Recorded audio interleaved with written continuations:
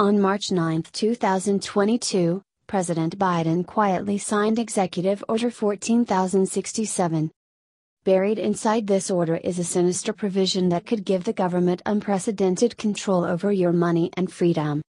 In fact, this provision sets the stage for legal government surveillance of all U.S. citizens, total control over your bank accounts and purchases, and the ability to silence all dissenting voices for good.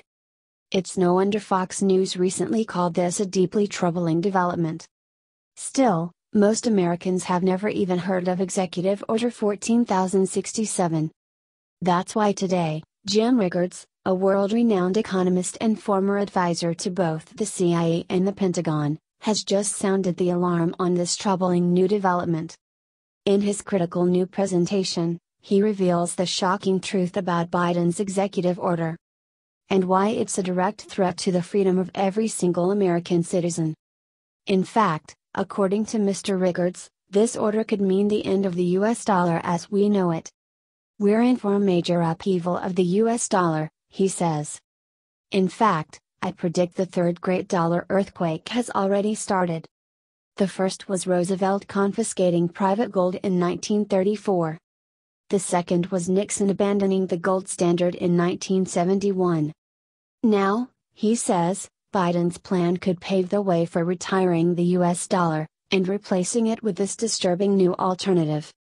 And this is not some far off pipe dream. This is happening right now.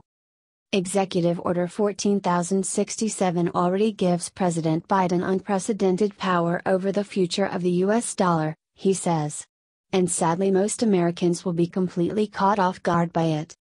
That's why Mr. Rickards just released this new must see presentation, which explains, in detail, how you can prepare for this critical event now.